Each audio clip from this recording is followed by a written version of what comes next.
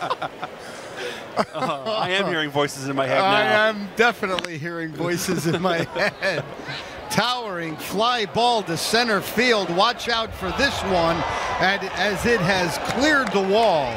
That got up into that wind, and Henry Urrutia has a solo homer, and the Tides have a one to nothing lead. What a funny game. Two rockets by the Iron Pigs that have been caught.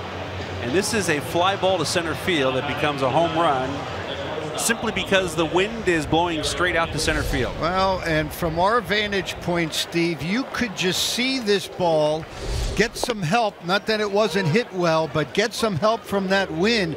It actually started pushing harder the later that ball stayed up in the air. And Urrutia has a solo home run. You could